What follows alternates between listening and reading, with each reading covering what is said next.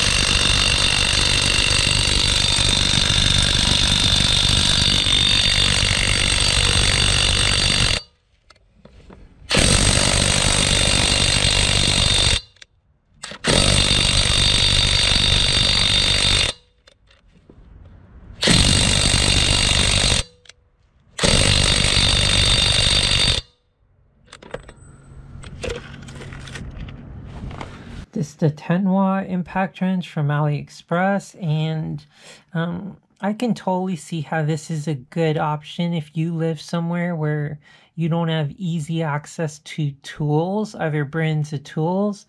Um, AliExpress will find some way to get this to you. Now, if you do have access to, say, like a Home Depot, I don't see why you would buy this over, say, the Ridgid impact wrench. Ridgid impact wrench, about $40 more. I think 200 foot pounds more torque and better, like a real warranty. Then you have access to all the Ridgid tools once you have a battery. Um, it just doesn't seem like any kind of uh, comparison if you do have access to other brands of tools.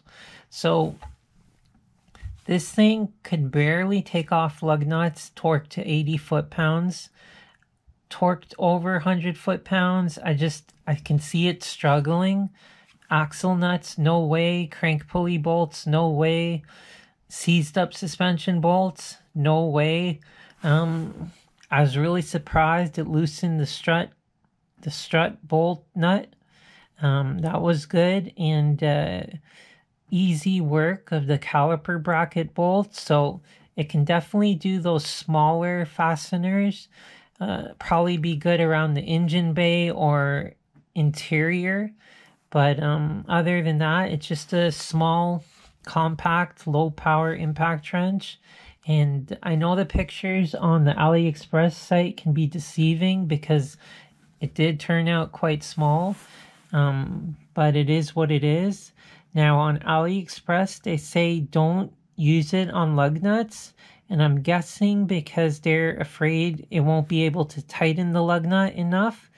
But you can see in this clip, it actually tightened it with no problem, I think over 80 foot pounds. So it can definitely tighten the lug nuts. And um, I don't really know what their reasoning is, but um, it can do it. So yeah, that's it.